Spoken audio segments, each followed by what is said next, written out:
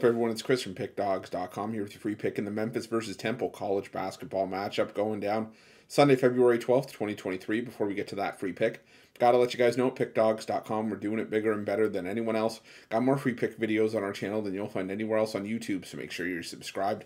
And also take advantage of our free sportsbook bonus offer. The link in the description of this video below. Now, while I do love giving out free picks, if you're looking for my best bets, the games I love the most, including my daily $15 best bet, check out pickdawgz.com and click the premium picks tab at the top of the page. But let's get to this one between Memphis and Temple. And Memphis coming into this game with a record of 18 and 6 on the year. Uh, 10, 13, and 1 against the number this season after ending up with a 99 to 81 road win over USF in their last matchup. Meanwhile, uh, Temple coming into this one off a of back-to-back losses. The most recent one, a 72 to 71 road loss to uh, SMU in their last matchup. I'll tell you, I was on uh, I was on Temple in that game. Thought that uh, you know the line did look kind of funny, but I thought Temple was still the better team there. I thought they would get the the victory and get a cover there, even if it was a tight one, but uh, unfortunately could not get the job done.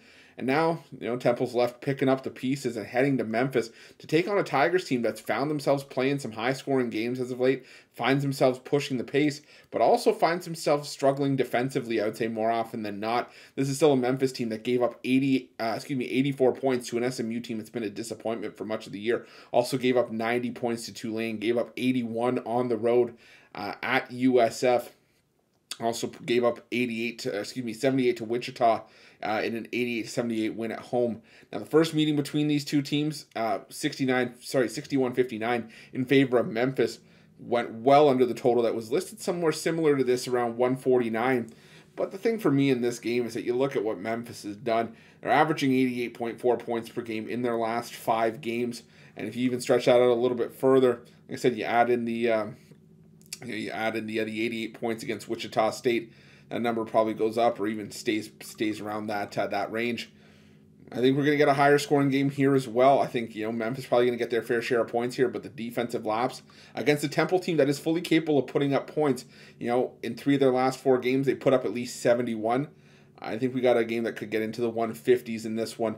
Um, you know, I'm going to take the over 147 and a half here historically between these two teams.